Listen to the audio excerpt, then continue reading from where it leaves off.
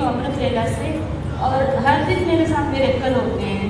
मतलब हर चीज़ में पॉजिटिव दिखता है मुझे। और दो इंसिडेंट्स ऐसे हुए जो मैं शेयर करना चाहती हूँ। एक तो अभी बीस दिन पहले हम लोग एक्टिवा में आते थे हस्बैंड के साथ में आती थी।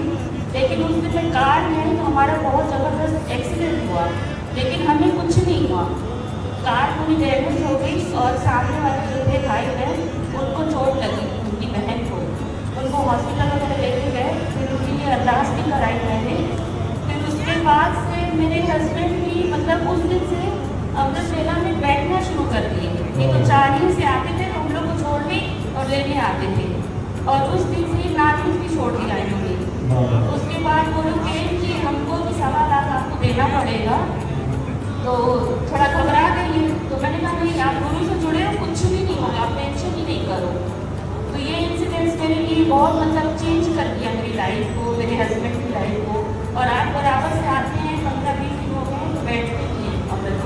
और मेरे बच्चों के लिए मैं जो भी सोचती हूँ जैसा भी यहाँ बैठती हूँ मेरे सोचने से पहले वो काम हो जाते हैं।